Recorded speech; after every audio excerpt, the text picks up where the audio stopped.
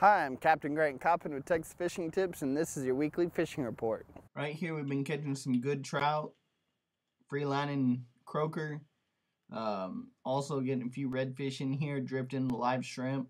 If you come in here, just get in here, tucked up against this bank, get out of the wind, and there's some good fish to be caught. On the calmer days out here around the bridge, we've been catching some good, some good trout, a few nice flounder.